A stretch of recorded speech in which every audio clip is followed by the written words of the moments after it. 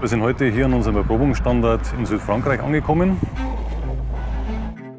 Auf der Anfahrt konnten wir jetzt schon die Fahrzeuge mal ausführlich auf öffentlichen Straßen erleben.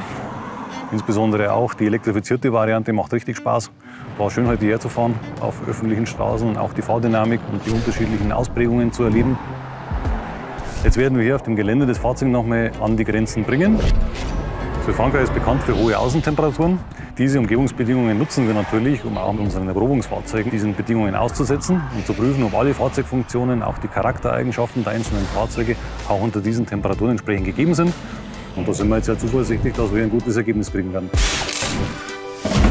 Wir haben jetzt verschiedene Räder-Reifenkombinationen auf unterschiedlichen Fahrwerken getestet und auf verschiedenen Fahrzeugen auch noch neue Software aufgespielt. Und es schaut alles sehr vielversprechend aus. Wir sind jetzt am Ende der Erprobung, haben unterschiedliche Fahrwerksvarianten bewertet und freuen uns jetzt für den Kunden auf Freude am Fahren.